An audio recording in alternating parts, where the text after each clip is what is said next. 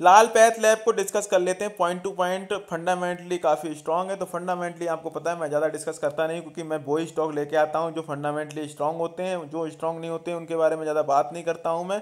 और ये भी काफ़ी बढ़िया फार्मा का स्टॉक है, और अगेन, जिन लोगों ने ऊपर जब मोमेंटम चेस करते हुए यहाँ पे कहीं खरीद लिया था चार हज़ार के आसपास में या उसके ऊपर तो उन्हें लॉस बुक करने की ज़रूरत नहीं, पहला तो ये। दूसरा बाइंग लेवल को आप अगर देखेंगे तो इसका बाइंग लेवल आएगा पैंतीस सौ रुपये के आसपास तो पैंतीस सौ रुपये के आसपास आप एक डिप लगा सकते हैं, पैंतीस सौ के आसपास एक डिप। एक डिप का मतलब ये नहीं कि यहीं पूरा पैसा लगा दिया, फिर ट्रेडिंग मूल को कह रहे हैं, ट्रेडिंग मूल ने कहा था, मैंने तो यहीं पूरा पैसा लगा दिया।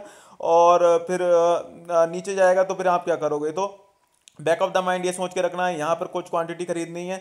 बैक ऑफ़ द माइंड सोचना है, अगर नीचे चला गया खुदा ना खास्ता, या मतलब मे भी कोई खबर आ जाए निगेटिव किसको पता है कि कल क्या हो जाए। तो ये तो हमें भी नहीं पता कि कल क्या हो जाएगा, किसी को भी नहीं पता इवन तो उसके लिए बैक ऑफ़ द माइंड सोच के रखना है। अगर नीचे और गिरावट होगी तो और ऐड कर लेंगे और यही है स्ट्रेटजी।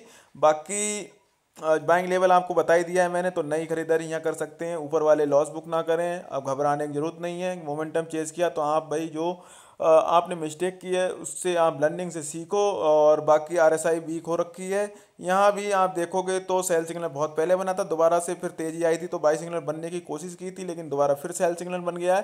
तो अगर आता है तो आप कर सकते हो, जो मैंने बैंक लेवल बताए हैं वहाँ। और बाकी आपकी मर्ज़ी है, आपका पैसा है फाइनेंशियल एडवाइजर पूछ सकते हो, अपना एक व्यू बना सकते हो, सुननी सबकी है, करनी अपनी है। चैनल पर नया है तो चैनल को सब्सक्राइब कर लेना, वीडियो दोस्तों का शेयर कर देना। हिंद दोस्तों।